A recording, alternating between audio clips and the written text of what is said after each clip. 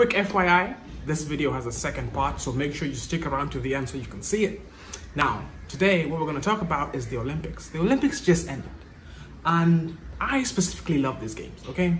It shows us just how much or just what the human body is capable of. When you look at these people, when you look at every event, it just shows you how much effort, how much sacrifice these guys have put in to be able to qualify for these games. Some of the stuff that is on these games is insane. Okay, the booty shorts in beach volleyball help a lot, but, but, the physical prowess of the athletes is also a big plus, you know what I mean? Uh, with that, because of that, I follow some social media accounts that kind of elevate this fact. Now, look at this stuff. Just look at what perseverance, sacrifice, and hard work can do. Just, just look at this stuff. How, how do these people do these things? As in, this just shows you a little bit of work, a little bit of effort, and never giving the fuck up, okay? No matter what stands in your way. Look at what you can achieve. Okay, by looking at me, you can tell I gave up a long time ago. But not everyone has given up, okay? with that, with that, now let's get to part two. I just wanted to set up a little context for part two. Welcome to part two.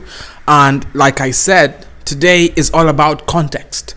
And because of that, I'm gonna put this motherfucker right here so you don't lose sight of that. Uh, we have all seen this meme or this video or this tweet or somewhere or whatever you've seen it somewhere where someone some dumbass because I that's the only thing I can call him some dumbass goes and asks what will you do if this building yes what will you do if this building spanks your wife when you're walking with her as in keep the fuck walking I'm not I'm not gonna risk my life, okay? No, no. I love you, okay? I do, I really do, but I'm not gonna risk my life over two seconds, okay? Okay? And if if he spanks your ass and you are a smart woman, you really are a smart woman, you will keep the fuck walking, okay? Cause there is no way I'm gonna look back.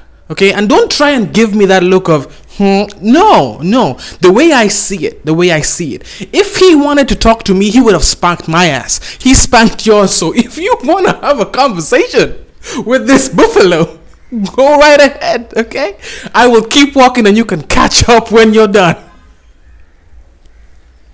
Like I said, the amount of work that this guy has put, just look at his arms. The amount of work and sacrifice that this man has put into only his arms. Okay, only his arms. We're not even gonna look at the rest of his body. Only his arms. The amount of work in those two arms is all the work I have done in my life from birth. Okay, you see these arms? These arms, these arms are here to hold you tight huh? when you're feeling cold at night. Okay, not not to fight a building. Okay.